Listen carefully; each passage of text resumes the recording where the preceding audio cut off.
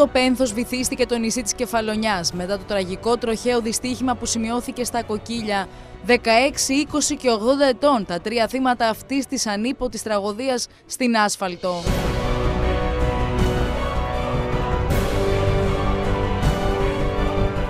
Σύμφωνα με πληροφορίες, μηχανή με κατεύθυνση από Αργοστόλη προς Λιβαθό, στην οποία επέβαιναν οι δύο νέοι, παρέσυρε τον ηλικιωμένο, ο οποίος κινούνταν πεζό στον δρόμο. Γεγονός που είχε ως αποτέλεσμα να ανατραπεί η μηχανή και να χάσουν τη ζωή τους τρεις άνθρωποι. Η τροχιά Αργοστολίου ανακοίνωσε. Από το τμήμα τροχέας Αργοστολίου διενεργείται προανάκριση για τον προσδιορισμό των συνθήκων τροχαίου δυστυχήματος στην επαρχιακή οδό Κοκκιλίων Πεσάδας, που είχε σαν αποτέλεσμα τον θανάσιμο τραυματισμό των ημεδαπών αναβατών δικυκλή μοτοσυκλέτα, 20χρονου οδηγού και 16χρονη συνεπιβάτηδας, καθώς και ενός ακόμη ημεδαπού πεζού 80 ετών. Η είδηση του τροχαίου δυστυχήματος και του θανάτου των τριών ανθρώπων έχει βυθίσει στο πένθος στην Κεφαλονιά.